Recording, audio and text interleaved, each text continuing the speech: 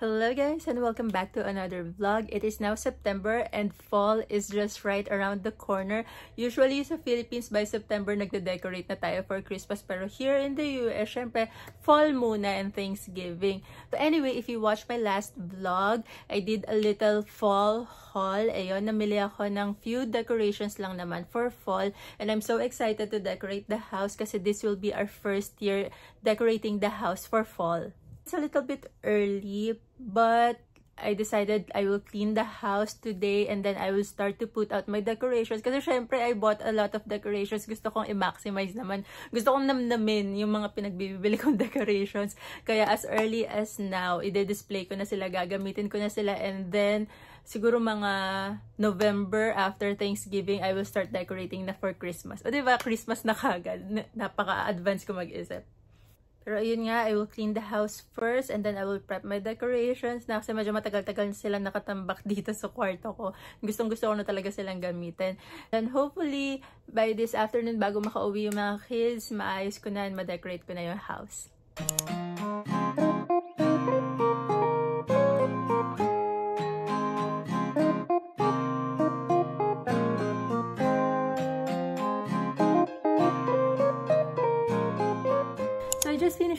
the house. Not totally deep clean. Like yung basic clean lang. Kasi medyo tinatamad ako ngayon.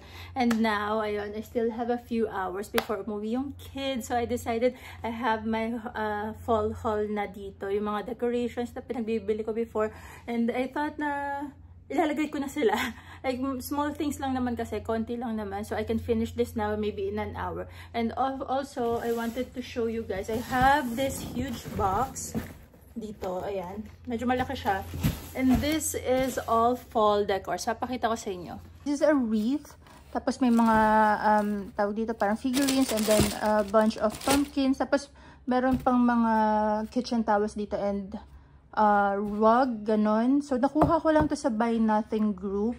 So, ayun, papakita ko na lang din sa inyo. Dadagdag ko na lang din siguro sa decorations dito sa bahay.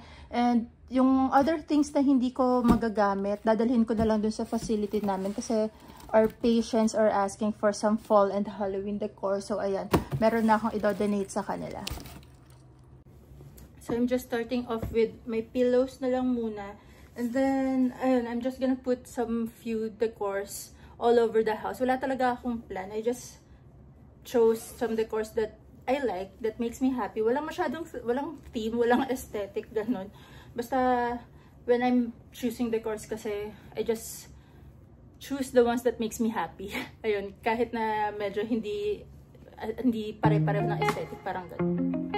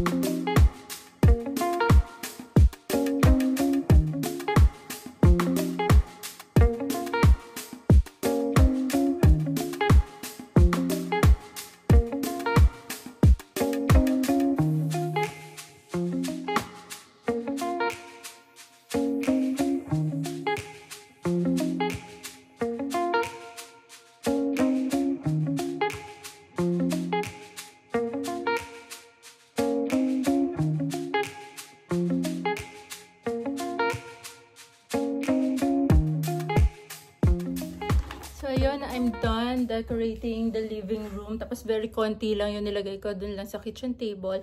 But I still have a few more pumpkins. Ito yung galing dun sa ito yung galing dun sa buy nothing group na nakuha ko. And then, this one na nabili ko. I still have more of those. Pero honestly, hindi ko na alam kung saan ko ilalagay. Pero yung coffee station ko, wala pang decor. So, baka I'm gonna put pumpkins all over the house na lang din. And then, I have extra what do you call this? Uh, kitchen towels din. So, at least meron akong pangpalit dun sa kitchen towels na nailagay ko. This is from the Buy Nothing group din. Kasama to dito sa box na nakuha ko for free. And then, ayun nga, actually yung buong box, konti lang din yung nagamit kong decor doon. Ayoko naman kasi ng super bonggang, ano, alam mo yun, super bonggang decoration. So, I'm good now with just the couch and the living room kasi we spent a lot of time in the living room. We watch movies a lot.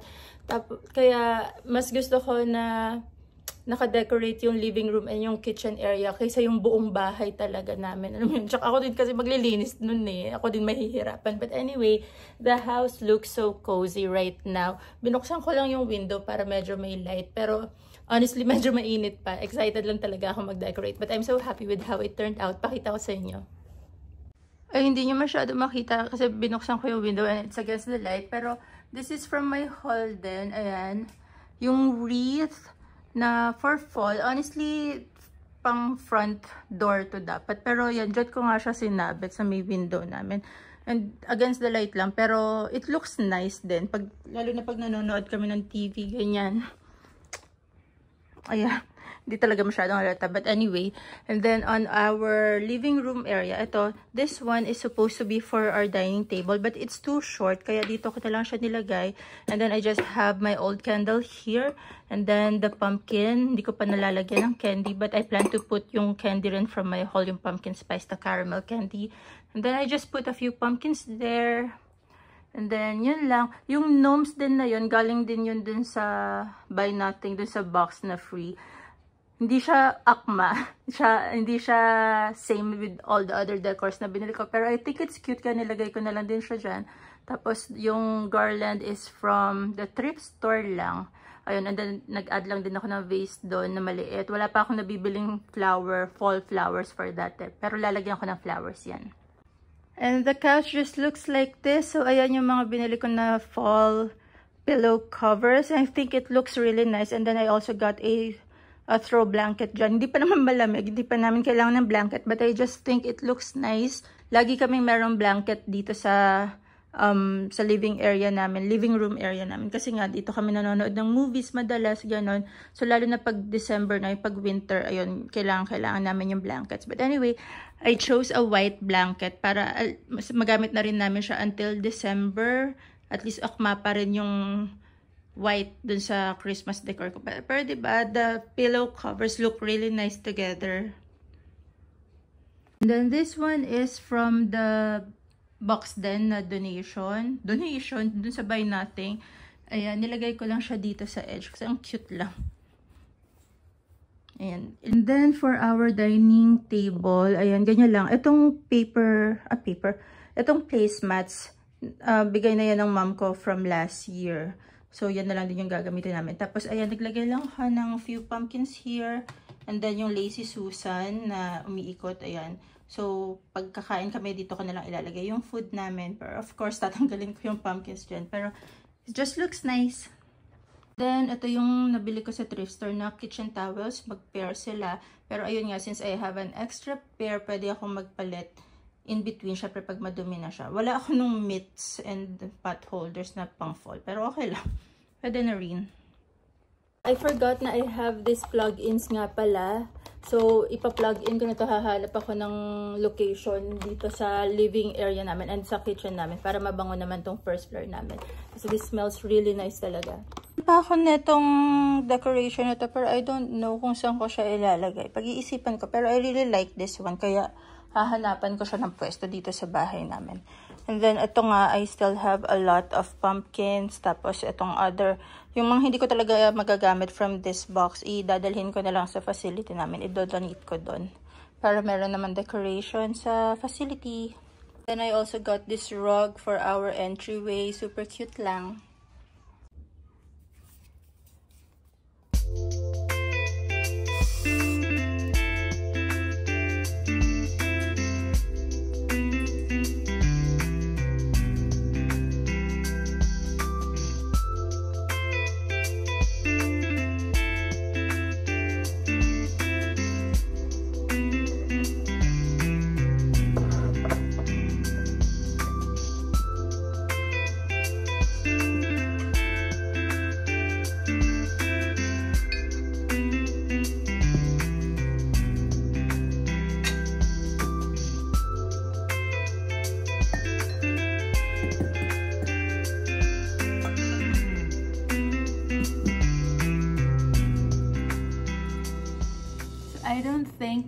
Napakita ko to dun sa haul ko from my last vlog.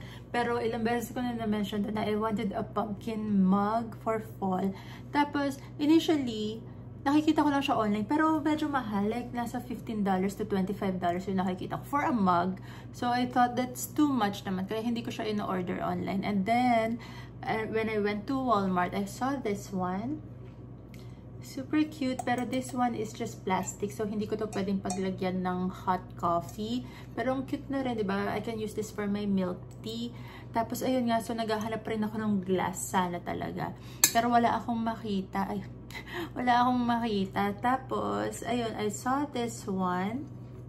Of all places, I saw this sa Dollar Tree. So, we went to a Dollar Tree na hindi namin usually pinupuntahan. Tapos, ayun, nagulat ako meron. So, $1.25 lang to. ba diba? Ang cute. Super pumpkin. Tapos, wala yung face ng Jack-O-Lantern. Yung mga nakikita ko is a little bit more rust orange yung color and a little fatter. Pero, okay na rin. Cute na rin naman, ba diba? Right now, I'm just displaying all my fall and Halloween mugs dito sa coffee station because I got my two pumpkins and then the basic witch. Tapos itong, hindi yung masyadong kita but this is a cauldron. It's super cute din. So those are the mugs that I'm going to be using for the next few months. Ang arty, pero wala lang. It makes me so happy and it's so cute displayed. But anyway, that is it for my very simple and realistic fall makeover sa bahay. So, konting-konti lang naman yung naidagdag. Pero I'm very happy with it na. So, if you guys have any other suggestions or questions, ganon, comment down below. Kwentuhan tayo and I'll see you on my next vlog. Bye!